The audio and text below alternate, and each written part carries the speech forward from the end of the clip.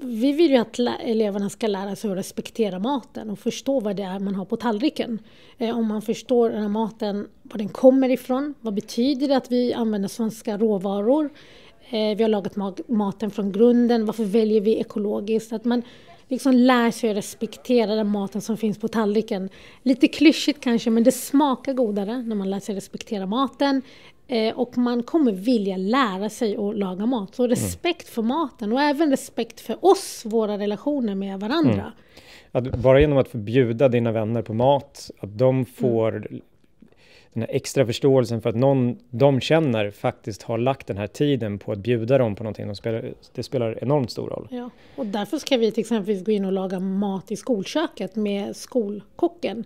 Eh, för att som sagt respekt. De kastar ju maten, men om de ser hur lång tid den här kocken tar, lägger ner på att laga maten, om man får själv laga maten, då kommer det kanske här, lite ont i hjärtat att bara ösa ner eh, maten mm. i papperskorgen. Det vi gör är att vi använder elevernas egen passion för matlagning, att de faktiskt tycker att det är kul som en motivation för att hålla dem kvar på lektionen och då faktiskt också lära sig någonting praktiskt.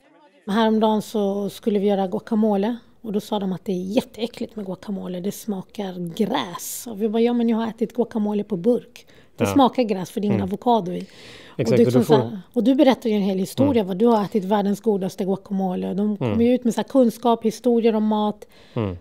Exakt, och man kan, de kan också se skillnad på vad en bra och vad en dålig råvara. Som nu till exempel eh, vitkålen i säsong, därför gör vi en vitkålssallad. Mm. Ja. Kan man prata lite extra om det så att hela tiden försöka sätta de här små fröna av kunskap.